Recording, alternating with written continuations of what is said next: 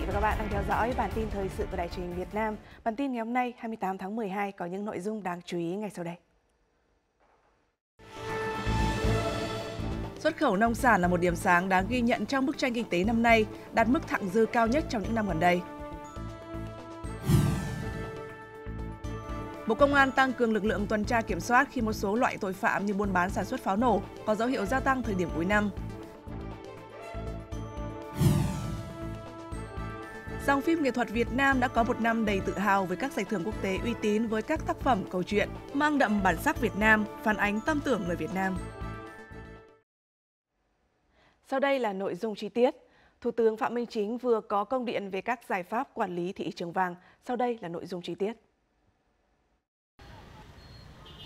Trong công điện, Thủ tướng Chính phủ yêu cầu Ngân hàng Nhà nước thực hiện ngay các giải pháp theo quy định để bình ổn thị trường vàng, sẵn sàng các biện pháp xử lý, sử dụng các công cụ theo thẩm quyền phù hợp, hiệu quả, kịp thời, góp phần thúc đẩy phát triển kinh tế xã hội, ổn định kinh tế vĩ mô, dứt khoát không để tình trạng vàng hóa nền kinh tế, không để tác động tiêu cực đến tỷ giá, lãi suất, thị trường tiền tệ, ngoại hối và an toàn an ninh tài chính tiền tệ quốc gia. Khẩn trương có giải pháp hiệu quả để quản lý, điều hành giá vàng miếng trong nước theo nguyên tắc thị trường, không để tình trạng chênh lệch với giá vàng miếng quốc tế ở mức cao như thời gian qua. Báo cáo kết quả thực hiện trong tháng 1 năm 2024. Thủ tướng yêu cầu Ngân hàng Nhà nước đánh giá tổng thể toàn diện về tình hình và công tác quản lý nhà nước thị trường vàng trong nước, tình hình sản xuất, kinh doanh vàng miếng, vàng thương hiệu SJC, vàng trang sức, ra soát khung khổ pháp lý, cơ chế chính sách liên quan, kịp thời đề xuất cấp có thẩm quyền xem xét sửa đổi, bổ sung các quy định, bảo đảm nâng cao hiệu lực, hiệu quả quản lý nhà nước, phát triển thị trường vàng minh bạch, lành mạnh, hiệu quả và bền vững, hoàn thành trong tháng 1 tới. Thủ tướng yêu cầu các cơ quan chức năng thanh tra, kiểm tra, bảo vệ pháp luật phối hợp với ngân hàng nhà nước thực hiện ngay các biện pháp công tác để kịp thời xử lý nghiêm minh các hành vi vi phạm pháp luật liên quan đến thị trường vàng và hoạt động kinh doanh vàng, nhất là các hành vi buôn lậu, thao túng, đầu cơ trục lợi. Xuất khẩu nông sản là một điểm sáng đáng ghi nhận trong bức tranh kinh tế năm nay. Kim ngạch xuất khẩu đạt trên 53 tỷ đô la Mỹ, thặng dư thương mại toàn ngành đạt trên 11 tỷ đô la Mỹ, mức cao nhất trong những năm gần đây. Nổi bật nhất là sự bứt phá mạnh mẽ của những mặt hàng thế mạnh là gạo và rau quả. Riêng với mặt hàng gạo, tính đến hết nửa đầu tháng 12, Việt Nam đã xuất khẩu được hơn 7,9 triệu tấn gạo, trị giá hơn 4,5 tỷ đô la Mỹ. Con số này tăng 11% về lượng và 29% về trị giá so với cùng kỳ năm ngoái. Đúng là năm nay, gạo và rau quả là điểm sáng trong bức tranh xuất khẩu nông sản. Kim ngạch hai nhóm hàng này đã tăng cao kỷ lục nhờ thị trường khởi sắc và chất lượng sản phẩm ngày một nâng cao. Như gạo ST25 lần thứ hai đạt giải quán quân ngon nhất thế giới. Xuất khẩu nông sản năm nay đã có một năm tháng lớn và dự báo năm tới vẫn có nhiều thuận lợi đối với nhóm ngành hàng như là lúa gạo, rau quả, cà phê với nhiều cơ hội xuất khẩu mà nông sản Việt cần chủ động tận dụng.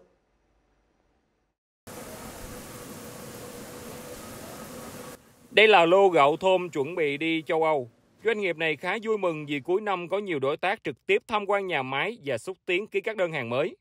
Một vài đối tác là chẳng hạn như là đối tác bên Nhật ờ, cũng đã ờ, liên kết để là tạo ra cái giá trị là sau là chế biến là sau gạo thì ờ, cũng có làm từ là cái dầu cám rồi một đối tác là bên Đài Loan thì họ cũng nhu cầu là liên kết để làm cái hữu cơ nếu như năm 2023, xuất khẩu gạo mang về khoảng 5 tỷ đô la Mỹ, thì mặt hàng rau quả vượt hơn khi đóng góp tới 5,6 tỷ đô la Mỹ.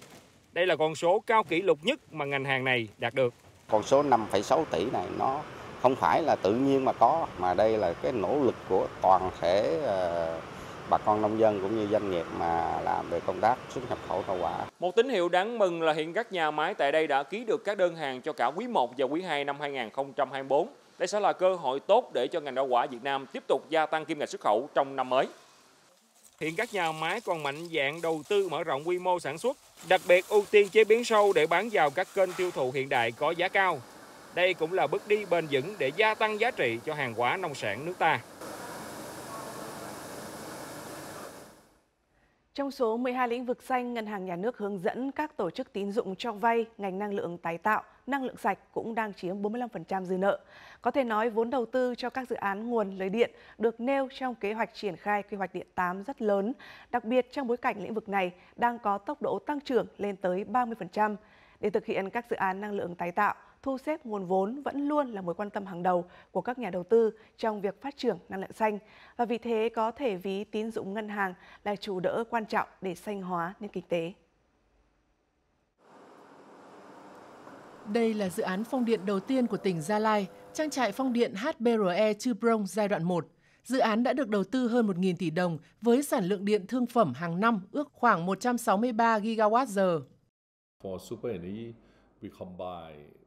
Có thể nói việc kết hợp giữa ngân hàng quốc tế và ngân hàng trong nước, cụ thể ở đây là từ Eximbank Thái Lan và BIDV của Việt Nam, chúng tôi mới có thể cân đối nguồn tài chính cho các dự án này. Tổ hợp nhà máy điện mặt trời Xuân Thọ 1 và 2 có mức đầu tư khoảng 2.800 tỷ đồng, cũng tìm được nguồn vốn ưu đãi từ phía ngân hàng. Chúng tôi à, làm việc với một hình thức vốn à, cung cấp vốn mới nó linh hoạt hơn cái gọi lãi suất ấy, nó hợp lý hơn so với việc sử dụng vốn vay tiền đồng Việt Nam. Về cơ bản là dự án à, sau một thời gian hoạt động thì dự án vẫn có thể chịu nổi tất cả những cái khoản phí đó và vẫn có lãi Hiện được xem là ngân hàng dẫn đầu thị trường trong lĩnh vực tài trợ xanh, BIDV cho biết cam kết tiếp tục dành tỷ trọng tương xứng để tài trợ cho các khách hàng trong lĩnh vực năng lượng tái tạo, năng lượng sạch. Thông qua các chính sách hiện có, tính đến hết quý 3 năm nay, ngân hàng này đã tài trợ cho khoảng 1.900 dự án tín dụng xanh với tổng dư nợ khoảng 71.000 tỷ đồng, chiếm 5% tổng dư nợ ngân hàng này, tăng 11% so với năm ngoái.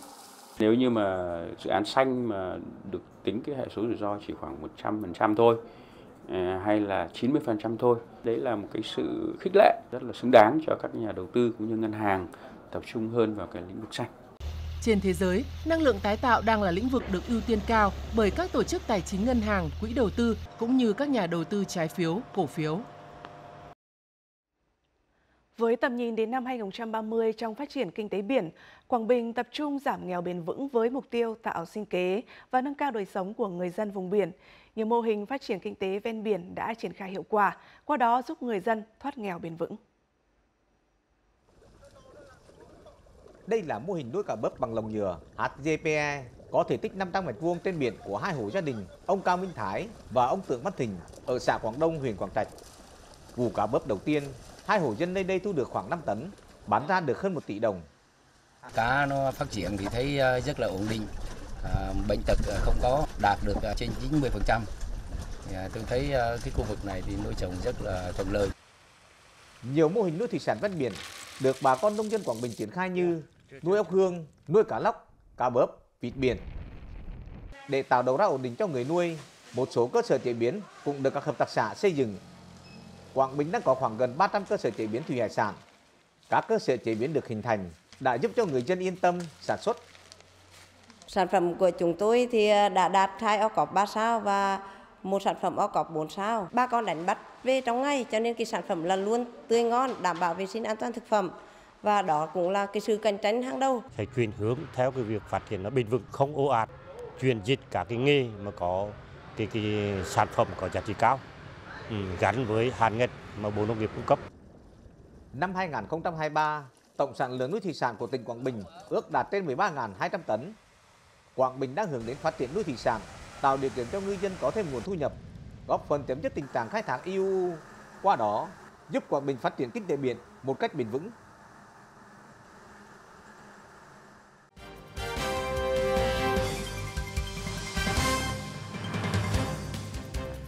Sau đây là những thông tin nổi bật trên các trang điện tử trong nước và quốc tế 24 giờ qua. Trang Vietnam Plus phiên bản tiếng Pháp có bài Số lượng công ty thành lập mới tăng vào năm 2023. Theo đó, Bộ Kế hoạch và Đầu tư công bố năm 2023, cả nước có 160.000 doanh nghiệp thành lập mới, tăng 7,2% so với cùng kỳ năm ngoái. Đây là lần đầu tiên số lượng doanh nghiệp thành lập mới trong năm đạt mức kỷ lục gần 160.000 doanh nghiệp. Con số này được coi là ấn tượng khi gấp 1,2 lần mức bình quân giai đoạn 2017-2022 và tăng 4,6% so với ước tính cho cả năm 2023. Giá vàng Việt Nam dự báo tiếp tục xu hướng tăng trong ngắn hạn là thông tin được đăng tải trên trang The Star của Malaysia. Theo báo cáo, giá bán cao do một số yếu tố tại thị trường trong nước, bao gồm tỷ giá đồng Việt Nam so với đô la Mỹ, xu hướng tăng giá vàng toàn cầu và các yếu tố mang tính mùa vụ như chu kỳ tiêu dùng cuối năm. Các chuyên gia dự báo giá vàng sẽ còn tăng cao hơn nữa trong ngắn hạn.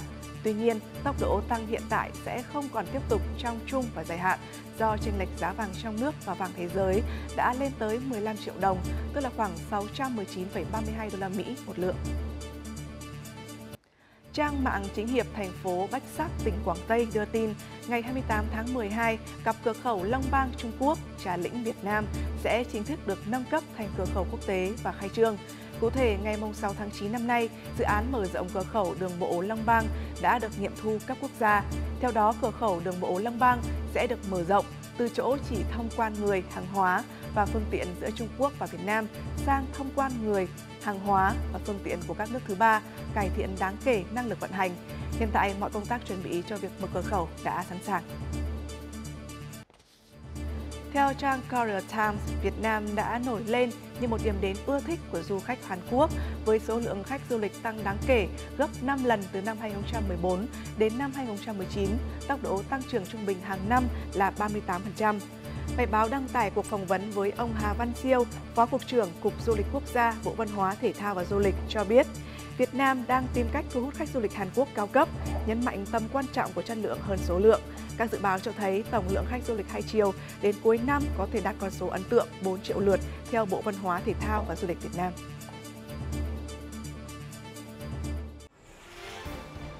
Trong phần tiếp theo của bản tin, Bộ Công an tăng cường lực lượng tuần tra kiểm soát khi một số loại tội phạm như buôn bán sản xuất pháo nổ có dấu hiệu gia tăng thời điểm cuối năm.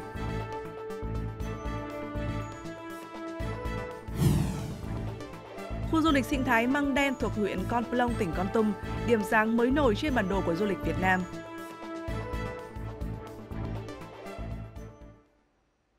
Và tin thời sự xin được tiếp tục.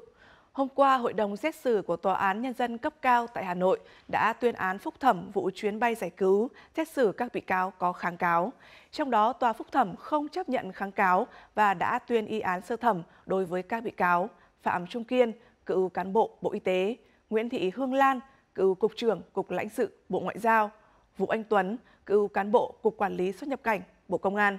Theo tòa phúc thẩm, các bị cáo này là những người nhận hối lộ nhiều lần với số tiền rất lớn hoặc đặc biệt lớn, gây bức xúc trong xã hội nên cần có mức hình phạt nghiêm mới đủ tác dụng giáo dục gian đe và phòng ngừa tội phạm nguy hiểm này. Còn bị cáo Hoàng Văn Hưng, cựu cán bộ điều tra của Bộ Công an, từ trung thân được giảm án xuống 20 năm tù. Tại phiên tòa, bị cáo này đã thừa nhận hành vi phạm tội, đồng thời thể hiện sự ăn năn hối cải và khắc phục toàn bộ 18,8 tỷ đồng lừa đảo chiếm đoạt tài sản. Tại họp báo về tình hình kết quả công tác công an năm 2023 diễn ra vào chiều tối qua, đại diện Bộ Công an đã thông tin về quá trình điều tra giai đoạn 2 trong vụ án xảy ra tại Tập đoàn Vạn Thịnh Phát, Ngân hàng SCB và các đơn vị liên quan. Bộ Công an cũng cho biết sẽ tăng cường lực lượng tuần tra kiểm soát khi một số loại tội phạm như là buôn bán sản phẩm pháo nổ có dấu hiệu gia tăng thời điểm cuối năm.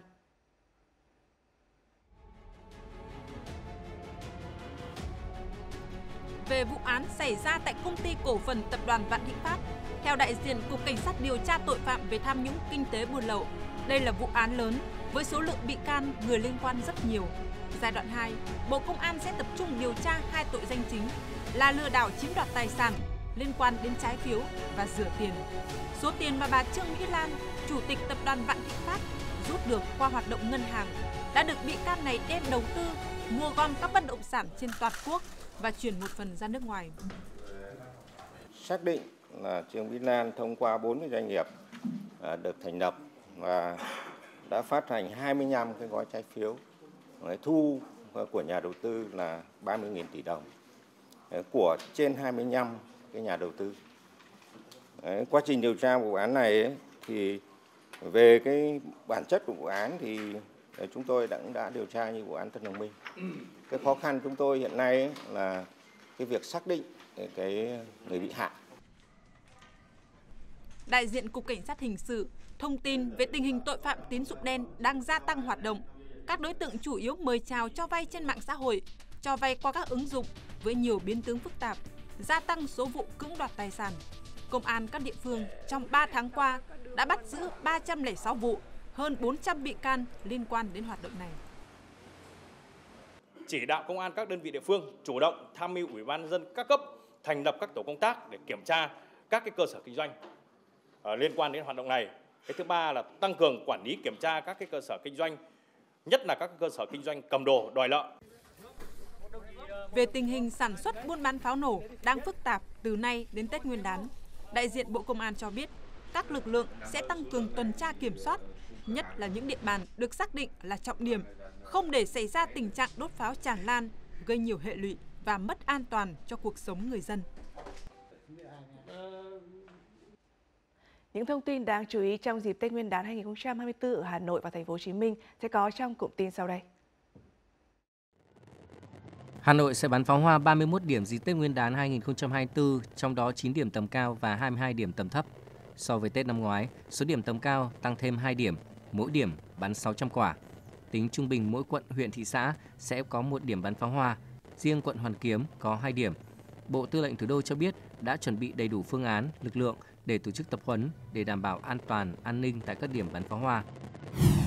Hội Hoa Xuân Giáp Thìn với chủ đề Xuân yêu thương, Tết xuân vầy sẽ được thành phố Hồ Chí Minh tổ chức trong 10 ngày. Thời gian diễn ra Hội Hoa Xuân từ ngày 6 đến ngày 15 tháng 2 năm 2024, địa điểm tại công viên Tao Đàn quận 1.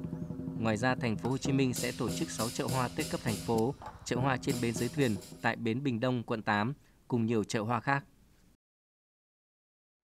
Chỉ còn ít ngày nữa là đến kỳ nghỉ Tết Nguyên đán, à, tiền Tết dương lịch. Nhiều địa điểm du lịch gần Hà Nội dễ tiếp cận bằng ô tô đang thu hút lượng lớn khách du lịch trong kỳ nghỉ Tết dương lịch này.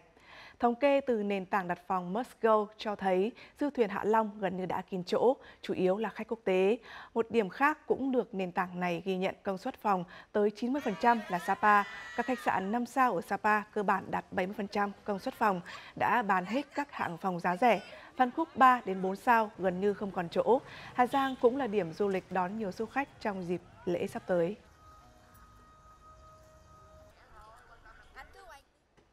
Khu du lịch sinh thái Măng Đen thuộc huyện Con Plong, tỉnh Con Tum là điểm sáng mới nổi trên bản đồ của du lịch Việt Nam. Ngày 29 tháng 11 vừa qua, Phó Thủ tướng Trần Hồng Hà đã ký quyết định phê duyệt nhiệm vụ quy hoạch chung xây dựng khu du lịch Măng Đen đến năm 2045. Đến nay, tỉnh Con Tum đang từng bước hiện thực hóa phát triển Măng Đen trở thành khu du lịch sinh thái mang tầm quốc gia, trở thành điểm đến hấp dẫn, có sức cạnh tranh cao, tạo thành thương hiệu của khu vực Tây Nguyên, trong nước và quốc tế. Nằm trên cao nguyên phía đông dãy Trường Sơn, giữa bạt ngàn rừng nguyên sinh với độ che phủ hơn 82% diện tích tự nhiên, khí hậu ôn đới trong lòng nhiệt đới, cùng với cảnh quan thiên nhiên hoang sơ hùng vĩ, hệ động thực vật phong phú, khí hậu trong lành, mát mẻ quanh năm. Măng Đen là vùng đất giàu tiềm năng và thế mạnh để trở thành khu du lịch sinh thái đúng nghĩa. Trước khi mà đến với măng đen, khi tìm hiểu trên mạng thì mọi người chỉ nói chung chung thôi là Đà Lạt thứ hai nhưng mà thực ra em thấy rất là khác. Và ngay cả những cái món ăn thì luôn sẽ có một cái nét rất là hay và rất là riêng. Chợ phiên cuối tuần với những gian hàng giới thiệu các sản phẩm ô cóp, sản phẩm đặc trưng, các hoạt động nghệ thuật, hòa cùng giai điệu cồng chiên rộn rã và điệu múa xoan uyển chuyển của các chàng trai cô gái sơ đăng. Những tour trải nghiệm nông nghiệp, văn hóa đã mang tới sức sống mới cho người dân và ngành du lịch địa phương bản sắc của mình là mình phải giữ lại là như là đan lát rồi à, cồng chiêng phục vụ ờ, cho lễ hội phục vụ cho khách từ khi làm du lịch là thấy cái uh, thu nhập của bà con là so với trước là nó khác được ví như mỏ vàng của du lịch Tây Nguyên, Măng Đen đã và đang thu hút những nhà đầu tư chiến lược nhằm hiện thực hóa các tiềm năng thế mạnh mà thiên nhiên ban tặng cho vùng đất này. Với chiến lược khai thác tài nguyên hợp lý, bền vững, gắn với bảo vệ di sản văn hóa và di sản thiên nhiên, tiềm năng của du lịch Măng Đen sẽ được đánh thức, đóng góp vào sự phát triển bền vững của địa phương trong hiện tại và tương lai. Nhất là trong tương lai không xa, khi mà tuyến cao tốc nối Quảng Ngãi với Con Tum và cảng hàng không Măng Đen được triển khai xây dựng. Trong thời gian tới, chúng tôi phối hợp với lại chính quyền địa phương tiếp tục công tác tuyên truyền, quảng bá, định vị thương hiệu, hình ảnh điểm đến du lịch Măng Đen, kêu gọi đầu tư trên địa bàn huyện Cam Long để Măng Đen trở thành một điểm đến không thể bỏ qua trong hành trình khám phá Việt Nam. Mục tiêu đến năm 2025, ngành du lịch tỉnh Con Tum sẽ thu hút 2,5 triệu lượt khách du lịch. Để đạt được mục tiêu này, sự hợp tác giữa chính quyền địa phương, doanh nghiệp và cộng đồng dân cư địa phương chính là yếu tố quan trọng để thương hiệu của du lịch Mang Đen định hình vững vàng và vươn cao. Dòng phim nghệ thuật Việt Nam đã có một năm đầy tự hào với các giải thưởng quốc tế uy tín. Một ờ, điểm đặc biệt là các nhà làm phim đoạt giải quốc tế trong năm qua đều ghi dấu ấn bằng những tác phẩm câu chuyện mang đậm bản sắc Việt Nam, phản ánh tâm tưởng người Việt Nam. Các đạo diễn đã tái hiện những câu chuyện con người mang đậm hồn cốt người Việt bằng ngôn ngữ điện ảnh đương đại với cách kể chuyện và kỹ thuật làm phim tiếp cận với quốc tế. Tại Liên hoan phim Cannes năm nay, hạng mục máy quay vàng tương đương phim đầu tay xuất sắc, vinh danh đạo diễn Phạm Thiên Ân với phim Bên trong vỏ kén vàng. Phạm Thiên Ân đi ngược lại với cuộc sống hối hả, với sự chuyển động không ngừng của thế hệ mình để mang tới một điện ảnh chậm. Đúng là mình chọn một cái con đường nó ngược lại tại vì anh nghĩ điện ảnh mình cần thời gian để cảm thụ nó. Người xem á, cần phải tập cái việc quan sát nhiều hơn là việc mình chỉ cho họ quan sát thì anh đã chọn cái cái phong cách điện ảnh chậm để thể hiện được cái điều đó. Cũng tại Liên hoan phim Cannes năm 2023, đạo diễn Trần Anh Hùng đoạt giải đạo diễn xuất sắc với tác phẩm Niềm đam mê của Đô Đanh Bô Phanh. Lần đầu trong lịch sử, một đạo diễn gốc Việt đạt được thành tựu này. Cũng là lần đầu Trần Anh Hùng có vinh dự tranh cành cọ vàng. Suốt hai năm qua, bộ phim tài liệu Những đứa trẻ trong xương của nữ đạo diễn trẻ Hà Lệ Diễm liên tục được các tờ báo quốc tế lớn đánh giá cao và lọt vào top 15 phim tài liệu xuất sắc nhất của giải Oscar năm 2023. Cuối năm ngoái, Cho tàn rực rỡ của đạo diễn Bùi Thạc Chuyên trở thành phim đầu tiên của điện ảnh Việt Nam tranh giải chính thức tại Liên hoan phim Tokyo. Sau đó, thắng giải phim hay nhất tại Liên hoan phim Ba Châu Lục ở Nantes, Pháp. Và mới đây, được chọn đại diện Việt Nam tranh giải Oscar phim quốc tế hay nhất. Những bộ phim đó đã khai thác rất là tốt cái phần văn hóa Việt Nam, cái bản sắc văn hóa Việt Nam. Ví dụ như là những phim của Bùi Thạc Chuyên cho rằng rực rỡ, là nói về cuộc sống người phụ nữ miền Tây, nói lên đẹp người phụ nữ Việt Nam, những cái tính cách người phụ nữ miền Tây, đầy đủ những cái không gian văn hóa của miền Tây. Thể hiện cái niềm khao khát làm nghề cũng như là ờ, uh, kéo cho khán giả về những cái gọi là thực sự là cái cái cái ngôn ngữ điện ảnh đích thực cho người ta chiêm nghiệm, cho người ta suy nghĩ và nó làm phong phú cho cái diện mạo của điện ảnh Việt Nam. Những niềm vui mà các nhà làm phim Việt có được từ các liên hoan phim quốc tế dù chưa nhiều nhưng đã mang đến niềm hy vọng cho sự khởi sắc của dòng phim nghệ thuật nước nhà. Họ nỗ lực, kiên trì đặt dấu ấn của điện ảnh Việt ra thế giới với hy vọng cứ đi là sẽ đến. Và trong phần cuối của bản tin là những thông tin dự báo thời tiết tại một số nơi trong nước và quốc tế.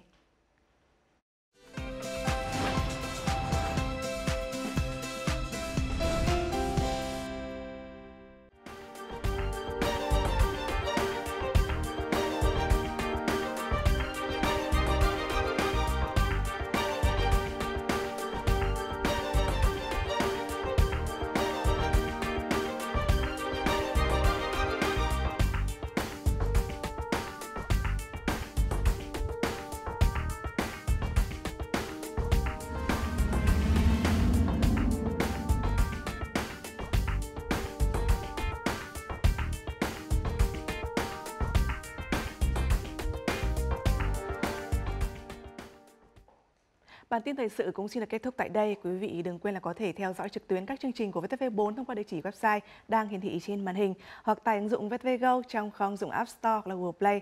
Cảm ơn quý vị và các bạn đã dành thời gian theo dõi. Xin kính chào tạm biệt.